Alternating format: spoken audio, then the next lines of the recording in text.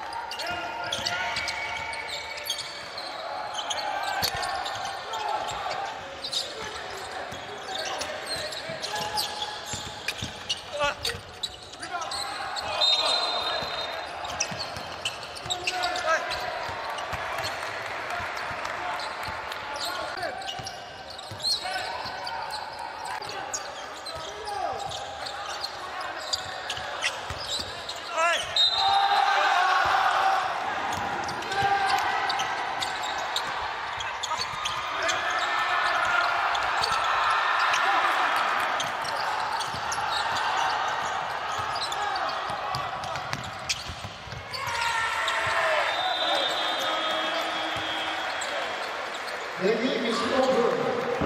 is far right.